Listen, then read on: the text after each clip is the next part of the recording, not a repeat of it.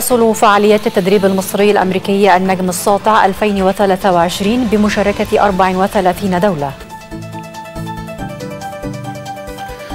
روسيا تصد هجمات أوكرانية على جسر القرم وواشنطن تقرر تزويد كييف بذخائر اليورانيوم المستنفد وفي الاقتصاد نتابع. أسعار النفط العالمية ترتفع لأعلى مستوى في أكثر من سبعة أشهر بفعل مخاوف الإمدادات.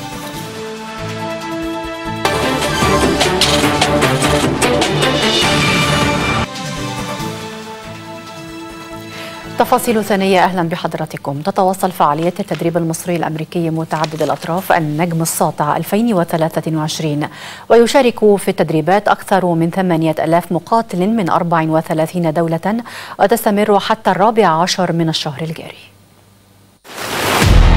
التدريب المصري الأمريكي المشترك. النجم الساطع 2023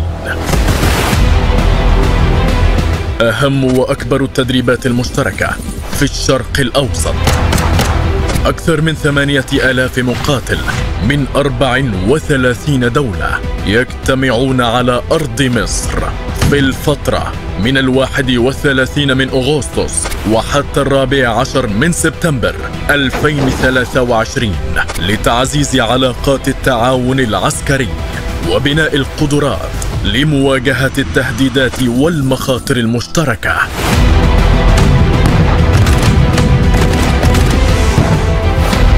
التدريب المصري الأمريكي المشترك ساطع 2023 تدريب عسكري عالمي على أرض مصرية.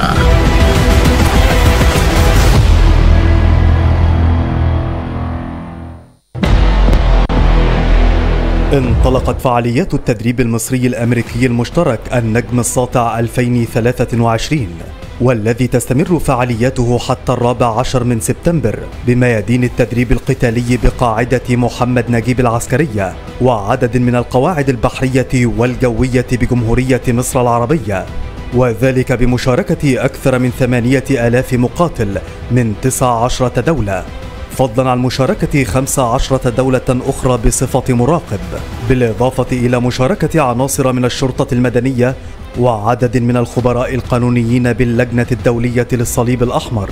وخلال مراسم الافتتاح ألقى اللواء أركان حرب أسامة نجا رئيس هيئة التدريب للقوات المسلحة. كلمة نقل خلالها تحيات وتقدير الفريق أول محمد زكي القائد العام للقوات المسلحة وزير الدفاع والإنتاج الحربي.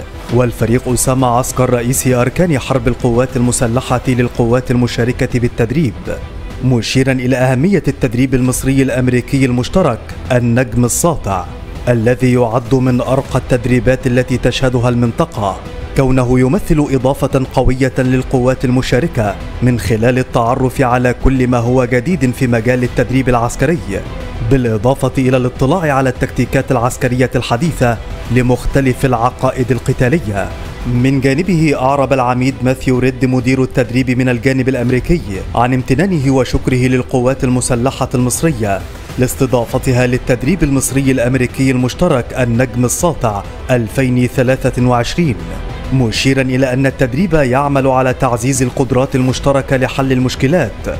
ومواجهة التحديات وتوحيد المفاهيم العسكرية بين القوات المسلحة للبلدان المشاركة متمنيا استمرار وتطوير التدريب خلال السنوات القادمة لتعزيز الروابط بين الدول المشاركة. وتفقد قادة قوات الدول المشاركة معرضا للأسلحة والمعدات المشتركة في التدريب معربين عن سعادتهم بالروح المعنوية العالية للقوات المشاركة من مختلف الدول. كما قدمت الموسيقات العسكرية عددا من العروض احتفالا ببدء فعاليات التدريب. هذا وقد شهدت الأيام الماضية تدفق القوات المشاركة والتحرك إلى مناطق وميادين التدريب التخصصية استعدادا لبدء فعاليات التدريب.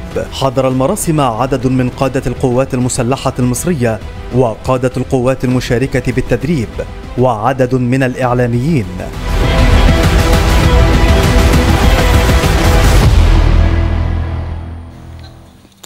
أعلنت وزارة الداخلية إطلاق المرحلة الرابعة والعشرين من مبادرة كلنا واحد وذلك اعتبارا من السابع من شهر سبتمبر الجاري ولمدة شهر لتوفير المستلزمات المدرسية بتخفيضات تصل إلى 40%.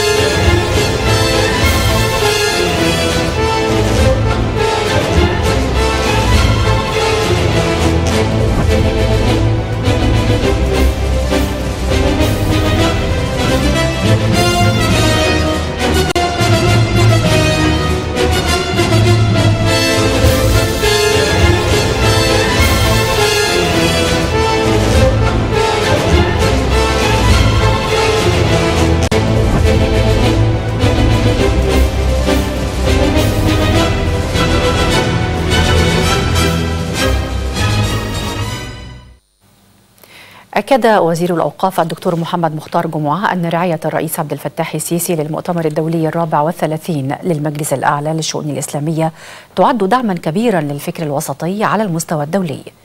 جاء ذلك خلال فعالية المؤتمر التحضيري الرابع والثلاثين للمجلس الأعلى للشؤون الإسلامية الذي يعقد يومي التاسع والعاشر من سبتمبر الجاري تحت عنوان الفضاء الإلكتروني والوسائل العصرية للخطاب الديني بين الاستخدام الرشيد والخروج عن الجادة.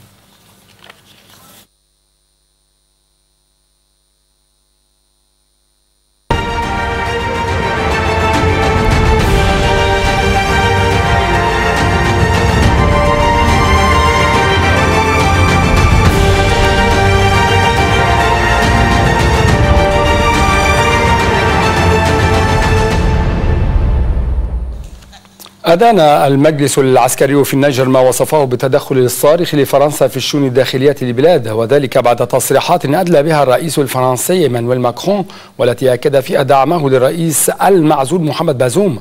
واعتبر المتحدث باسم المجلس العسكري أن تصريحات ماكرون تهدف إلى إدامة المشروع الاستعماري الجديد على الشعب النيجر الذي لا يطلب سوى تقرير مصيره بنفسه على حد قوله. يأتي هذا بينما استمرت المظاهرات في النيجر حيث تجمع الآلاف من المتظاهرين من أنصار المجلس العسكري أمام القاعدة العسكرية الفرنسية في نيامي للمطالبة برحيل هذه القوات. أعلنت المجموعة الاقتصادية لدول وسط إفريقيا إيكاس أنها ستعقد اجتماعا ثانيا بعد غد للتركيز على التطورات في الجابون بعد سيطرة العسكريين على السلطة. في الوقت نفسه أكد بريس أوليجي نيجيما قائد التحرك العسكري الذي أطاح برئيس الجابون علي بونغو إنه يريد تجنب المسارعة بإجراء انتخابات من شأنها أن تكرر أخطاء الماضي وذلك على حد تعبيره.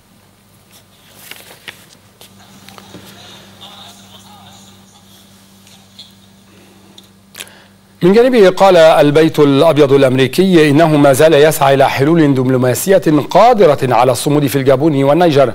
وأشار البيت الأبيض إلى أن وضع مثل هذه الحلول يهدف لضمان احترام المؤسسات الديمقراطية في البلدين.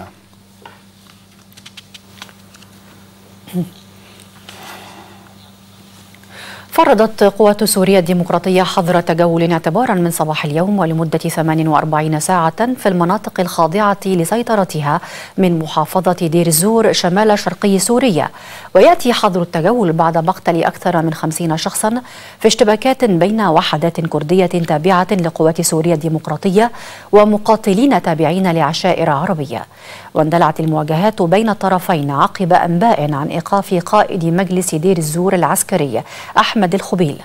وأوضحت قوات سوريا الديمقراطية أن فرض حظر التجول يهدف إلى حماية حياة المدنيين وممتلكاتهم من تخريب المجموعات المسلحة المرتزقة ولمنعهم من الاختباء ضمن المدنيين.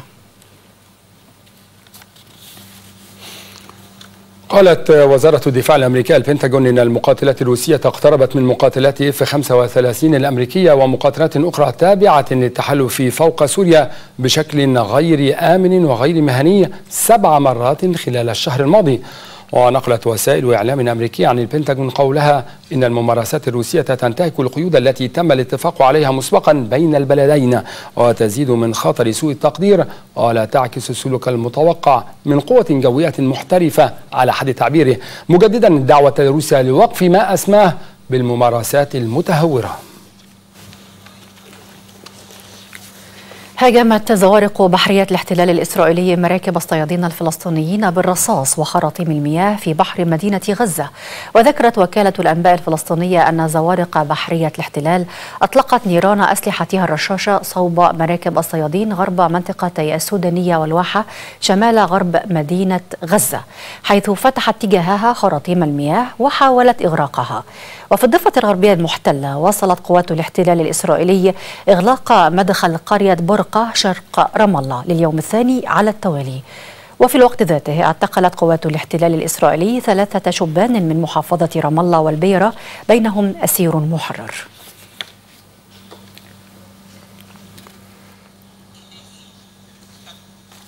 أكد رئيس الصومال الدكتور حسن شيخ محمود أن الجيش الوطني الصومالي والقوات المحلية بالولايات والمقاومة الشعبية سيلاحقون الخلايا الإرهابية في كل شبر من أراضي بلاده. وشدد الرئيس الصومالي على أن الهدف من القضاء على الإرهاب هو ضمان الاستقرار وإعادة الخدمات الأساسية وإرساء البنية التحتية للسكان المحليين. وأكد أن القوات المسلحة أو أن القوات المسلحة الوطنية تغلبت على العدو الإرهابي المتمثل في ميليشيات الشباب المرتبطة بتنظيم القاعدة.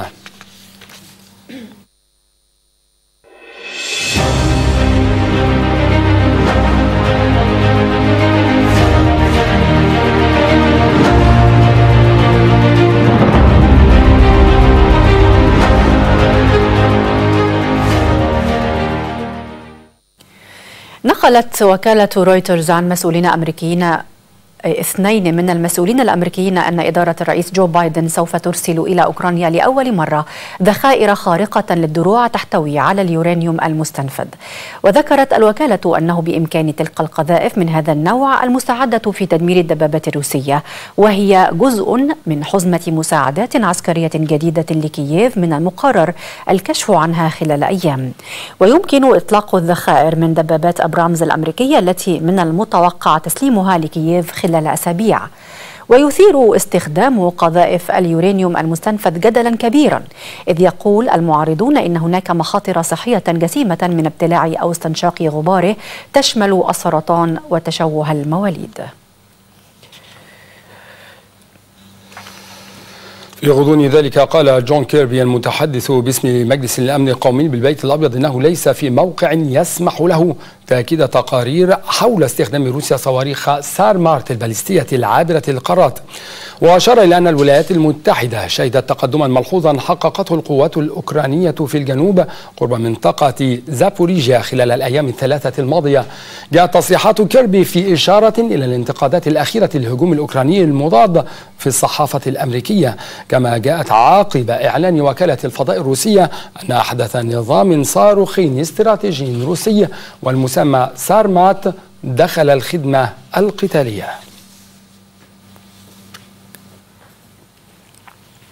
وعلى الأرض قالت وزارة الدفاع الروسية إن قواتها دمرت ثلاثة زوارق أوكرانية حاولت مهاجمة الجسر الذي يربط شبه جزيرة القرم بالبر الرئيسي الروسي. ومن ناحية أخرى أعلنت سلطات إقليم دونيسك مقتل طفلة وإصابة 23 مدنيا في قصف أوكراني استهدف مركزا تجاريا في مدينة دونيسك. وأوضحت السلطات أن القوات الأوكرانية استهدفت مدينتي دونيسك وبروفكا وبلدات أخرى ب 180 قذيفة بما فيها قذائف عنقودية مؤكدة أن القصف الأوكراني أدى إلى تضرر 35 مبنى سكنيا وخمسة مرافق للبنية التحتية المدنية. ونددت سلطات إقليم دونيسك باستخدام القذائف العنقودية خلال استهدافها للمدينة في أول أيام العام الدراسي.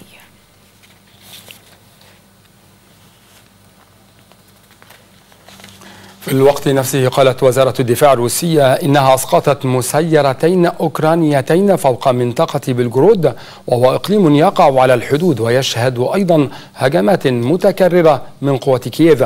وفي سياق منفصل قال حاكم منطقة كورسك المجاورة إن قرية على الحدود تعرضت لقصف أوكراني أسفر عن إصابة امرأة وارتفع عدد الهجمات الأوكرانية بالطائرات المسيرة على الأراضي الروسية في الأسابيع القليلة الماضية إذ إنه في بعض الأحيان تشن عشرات الطائرات المسيرة هجمات على روسيا دفعة واحدة.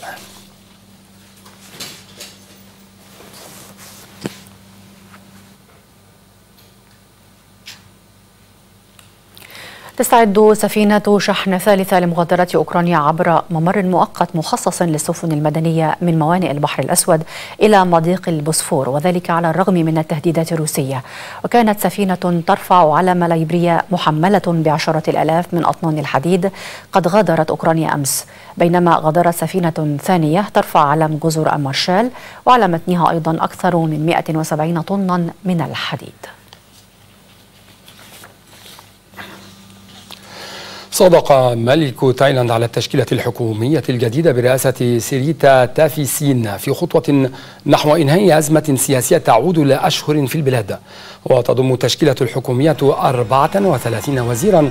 بعضهم تولوا مهام في الحكومة السابقة التي كانت تلقى معارضة واسعة بين التايلانديين وبموجب القانون التايلاندي يتعين على الحكومة الجديدة أداء قسم الولاء أمام الملك. وإعلان سياساتها في البرلمان لتصبح عندها نافذة بالكامل.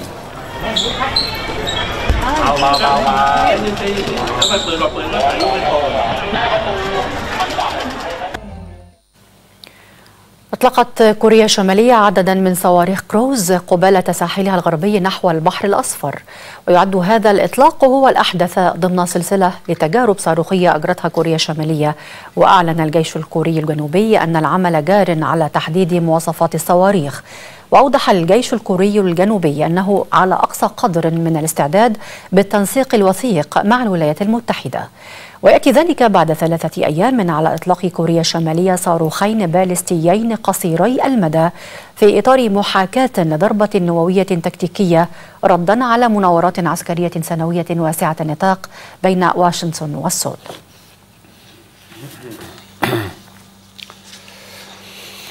أطلقت وكالة الفضاء الهندية صاروخا لدراسة الشمس في أول مهمة من نوعها وذلك بعد نجاح هبوط الهند على سطح القمر بمركبة تشاندريان. ويهدف المسبار إلى دراسة الرياح الشمسية التي يمكن أن تسبب اضطرابات على الأرض تحدث عادة في صورة الشفق القطبي. وأطلق على المسبار اسم أديتيا إل 1 وتأتي البعثة الشمسية بعد تفوق الهند على روسيا أواخر الشهر الماضي لتصبح بذلك أول دولة تهبط على القطب الجنوبي للقمر. في عالم يزداد تعداد سكانه يوما بعد يوم تؤثر فيه الزيادة السكانية على الاقتصادات وتشكل ضغطا كبيرا على المتاح من الموارد وتوفير الخدمات الصحية والتعليمية بكفاءة. فتزداد معها تحديات التنمية وجودة الحياة. علينا الآن معرفة الفرص لمجابهة هذا الخطر والاستعداد لتبني استراتيجيات فعالة ومؤثرة بهدف مشترك يضمن مستقبلا امنا للجميع. المؤتمر العالمي للسكان والصحة والتنمية الفترة من 5 إلى 8 سبتمبر 2023 بمركز مؤتمرات سانت ريجس الماسة العاصمة الإدارية الجديدة. نحو سكان أصحاء من أجل تنمية مستدامة. تحت رعاية السيد الرئيس عبد الفتاح السيسي رئيس جمهورية مصر العربية. تابع رئيس الوزراء الدكتور مصطفى مدبولي جهود اللجنة الطبية العليا والاستغاثات بمجلس الوزراء خلال شهر أغسطس الماضي. وأشاد رئيس الوزراء بالدور الذي تقوم به اللجنة الطبية العليا والاستغاثات بمجلس الوزراء في رصد وتلقي استغاثات المواطنين فيما يخص الملف الطبي حيث قامت اللجنة بالاستجابة لنحو 1093 حالة تم رصدها عبر وسائل الإعلام وعبر مواقع التواصل الاجتماعي. بحث الدكتور أحمد السبكي رئيس الهيئة العامة للرعاية الصحية والمشرف العام على مشروع التأمين الصحي الشامل وحياة كريمة مع سفير البرازيل في القاهرة تعزيز أوجه التعاون وتبادل الخبرات في مجالات الرعاية الصحية بين مصر والبرازيل. وقد تم مناقشة توقيع مذكرة تفاهم لتبادل الخبرات فيما يتعلق بأحدث التقنيات والممارسات الطبية وأيضا في مجال تعزيز التعاون في مجال الرعاية الصحية الأولية في المجتمع والاستفادة من التجارب في نموذج الشراكة بين القطاعين الحكومي والخاص في البرازيل. قال وزير الموارد المائية والري الدكتور هاني سويلم إن الوزارة تشارك في تحقيق التنمية الشاملة بشبه جزيرة سيناء من خلال عدد من المشروعات الكبرى في مجال الموارد المائية. جاء ذلك خلال اجتماع لمتابعة الموقف التنفيذي للتكليفات الرئاسية الخاصة بتنمية وإعمار سيناء. وأشار وزير الري إلى أنه تم تنفيذ محطة معالجة مياه مصرف بحر البقر والمسجلة في موسوعة جينيس باعتبارها المحطة الأكبر لمعالجة المياه على مستوى العالم. فضلا عن تنفيذ مشروع لمعالجة مياه مصرف المحسمة. وعلى صعيد الحماية من أخطار السيول أوضح وزير الري أنه تم تنفيذ العديد من أعمال الحماية من أخطار السيول في محافظتي شمال وجنوب سيناء. كما أكدت وزيرة التضامن دكتورة نيفين القباج أنه سيتم تنفيذ عدد من التدريبات لسيدات شمال سيناء لتوفير فرص عمل حقيقية لهم. جاء ذلك خلال الجولة التي قامت بها لمركزي رفح والشيخ زويد. يرافقهما محافظ شمال سيناء واللواء محمد عبد الفضيل شوشة. نتابع.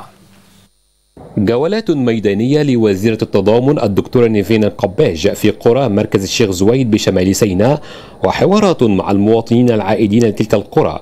والهدف رفع كفاءة المنازل وتقديم مساعدات لهم بقيمة 30 مليون جنيه يأتي هذا فيما أكد محافظ شمال سيناء الدكتور محمد عبد الفضيل شوشة أن هناك اهتماما كبيرا من جانب القيادة السياسية لهذا الجزء الغالي من أرض مصر. إن شاء الله أنتوا في الأيام القادمة في العديد من السادة الوزراء أيضا بناء على توجيهات السيد رئيس الجمهورية هيجوا ويرتقوا بيكم وإن شاء الله كل يوم لازم تحسوا إن في تغيير عن اليوم السابق، لازم هتحسوا هتحسوا بهذا وأنا بوعدكم جميعا جميعا وأنتم عارفين يعني العلاقة بيني وبينكم إنه إن شاء الله إن شاء الله كل يوم لازم يبقى فيه حاجة مختلفة في صالح المواطن. الحاجة الثانية اللي أنا بأكد عليها بأكد على إن كل الناس اللي موجودة في مدينة رفح ومدينة الشيخ زويد كل حقوقهم وكل طلباتهم إن شاء الله هتكون مستجابة والدولة بتبص لها بعين الاعتبار. وخلال الجولة تفقدت الوزيرة قافلة الهلال الأحمر الطبية في الشيخ زويد واطمأنت على الخدمات الطبية المقدمة للأهالي في تخصصات العيون والنساء والأنف والأذن والمسالك وأكدت أن الدولة بجميع مؤسساتها تهتم بسيناء وأهلها وأن الوزارة تنفذ عددا من البرامج لصالح الأسرة السيناوية لزيادة دخلها وتنميتها. ووعدت الوزيرة الأهالي بدراسة مطالبهم كافة وتقديم الدعم المستمر لهم. شريف رضوان للتلفزيون المصري.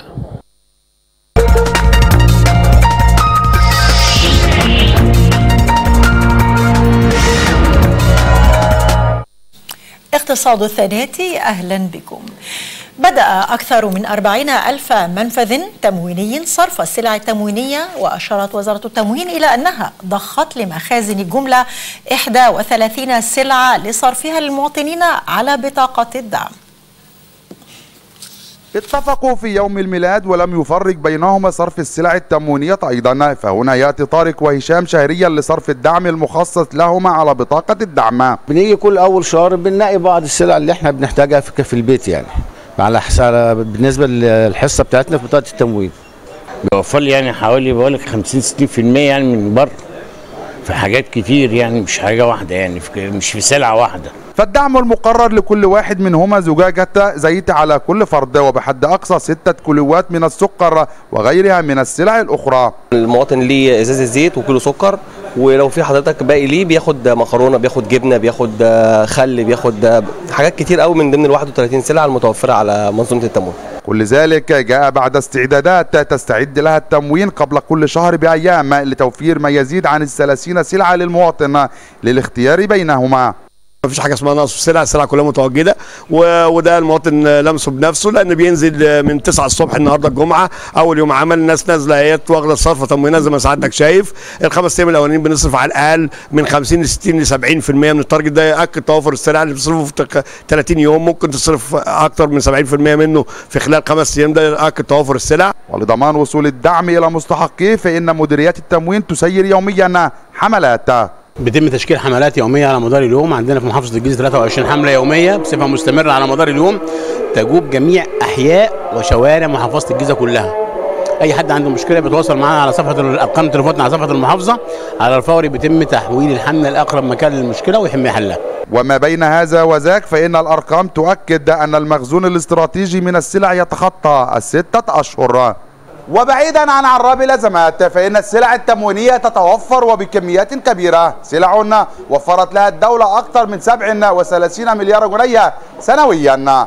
رمضان الشحات التلفزيون المصري إلى أسواق النفط العالمية والذي ارتفعت أسعاره إلى أعلى مستوياتها فيما يزيد على سبعة أشهر. منهية سلسلة خسائر استمرت أسبوعين ذلك بدعم من توقعات نقص الإمدادات. من المتوقع أن تمدد السعودية خفضا طوعيا للإنتاج النفط بمقدار مليون برميل يوميا إلى أكتوبر مما يطيل أمد قيود الإمدادات التي أعلنتها منظمة الدول المصدرة للبترول أوبك وحلفاؤها أوبك بلس لدعم الأسعار. صعد سعر خام برنت بنحو 1.9% ليصل إلى 88 دولار و49 سنتا للبرميل عند التسوية وزاد خام غرب تكساس الوسيط الأمريكي بنحو 1.7% ليصل إلى 85 دولار وسنتان للبرميل. إلى أوكرانيا حيث أعلنت وزارة الزراعة حصد أكثر من 33 مليون طن من المحاصيل الجديدة بما في ذلك نحو 29 مليون طن من الحبوب وأكثر من 4 ملايين طن من البذور الزيتية.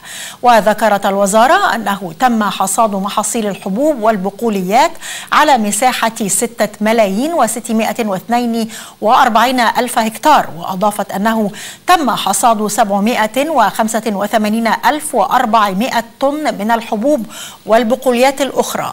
فيما تم تسجيل أعلى إنتاجية من الحبوب والبقوليات في منطقة خلمنيتسكي. قال الرئيس الصيني شي جين بينغ إن بلاده ستعمق تعاونها في مجالي التجارة والخدمات والتجارة الرقمية مع دول مبادرة الحزام والطريق. وأضافت شي جين بينغ خلال كلمته التي ألقاها أمام قمة التجارة العالمية 2023 أن الصين مستعدة للعمل مع جميع الدول والأطراف الأخرى لتعزيز الانفتاح والتعاون والابتكار والمشاركة في قطاع الخدمات في مسعى لوضع الاقتصاد العالمي على مسار من الانتعاش المستدام. رفعت وكالة موديز للتصنيف الائتماني توقعاتها لنمو الاقتصاد الأمريكي لعام 2023 لكنها خفضت تقديراتها للصين في العام المقبل. وقالت موديز أنها رفعت توقعات توقعاتها لنمو الاقتصاد الولايات المتحدة إلى 1.9% في عام 2023 من 1.1% في توقعات شهر مايو وأبقت الوكالة على توقعاتها للنمو لعام 2024 عند 1% قائلة إن أسعار الفائدة المرتفعة ستكبح الاقتصاد وفي المقابل أشارت موديز إلى أن الصين تواجه تحديات نمو كبيرة ناجمة عن ضعف ثقة الشركات والمستهلكين وسط حالة من عدم اليقين الاقتصادي والسياسي واستمرار مشكلات القطاع العقاري والأعمال الكبيرة للعمالة. عفوا والأعمار الكبيرة للعمالة. وأبقت وكالة موديز على توقعاتها لنمو اقتصاد الصين هذا العام عند 5% لكنها خفضت توقعاتها لعام 2024 إلى 4% من 4.5% سابقاً.